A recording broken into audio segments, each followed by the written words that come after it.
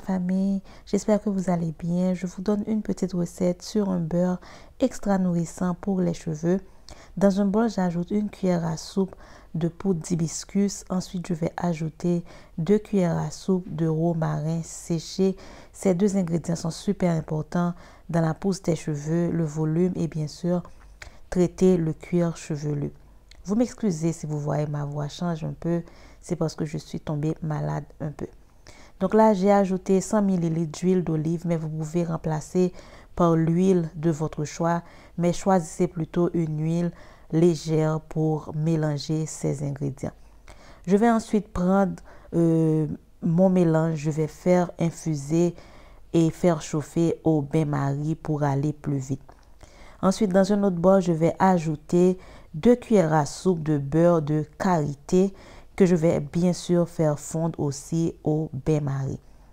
Je vais chauffer les deux euh, ingrédients simultanément et ensuite je vais prendre le beurre et faire refroidir au frigo.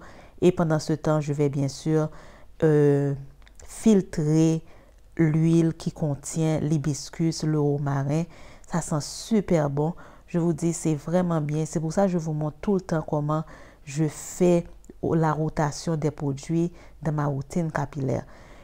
Dès que le beurre aurait refroidi, bien sûr, je vais commencer à battre avec un fouet électrique, mais vous pouvez utiliser même un mixeur pour faire ce mélange. Et je vais ajouter l'huile au fur et à mesure pour, bien sûr, mélanger les ingrédients.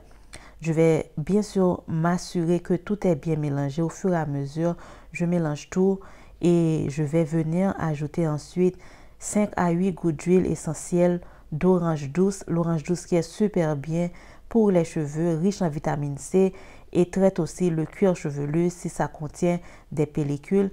Et j'ajoute quelques gouttes de vitamine E afin de protéger mon beurre contre l'odeur du ranci que ça peut avoir car il fait très chaud ici et ça, les choses peuvent gâter vite ici. Donc là, voilà, c'est déjà fini. Je vais bien sûr transvaser dans un bocal propre et votre beurre est déjà prêt pour utilisation.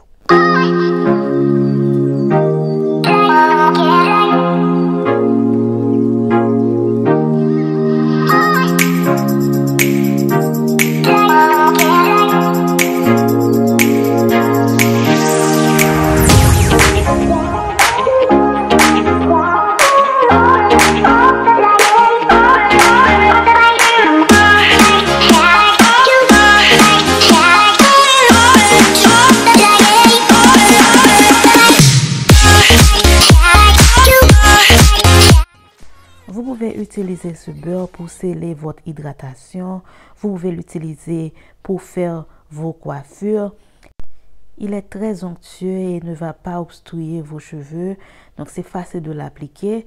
Et bien sûr, vous pouvez l'utiliser pour plein d'autres choses, même pour le corps, car avec la présence de l'hibiscus qui est riche en vitamine C et de l'orange douce qui est aussi excellent pour la peau et pour les cheveux. Donc ce beurre est à multifonctionnalité. Vous pouvez l'utiliser pour vos cheveux et votre peau sans aucun problème.